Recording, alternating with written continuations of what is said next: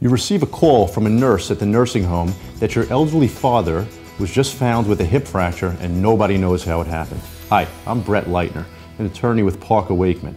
I want to tell you a story about a family that approached me to investigate what happened with their elderly father.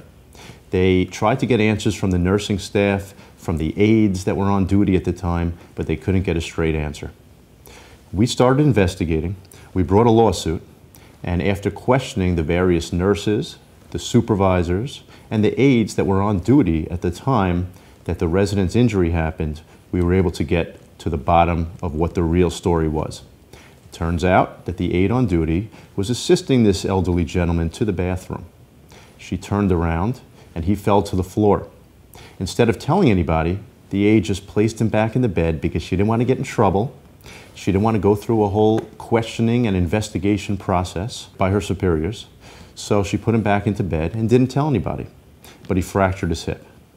So once the truth came out, we were able to secure a very substantial recovery for this family. I handle these type of nursing home abuse and neglect cases every single day. If you have a loved one in a nursing home and you have any questions, I hope I've been able to shed some light on what happens in a nursing home when something happens to a resident and nobody fesses up. You probably have more questions. If you do, call me, Brett Leitner, at Parker Waichman at 800 800 9797. Thank you for watching.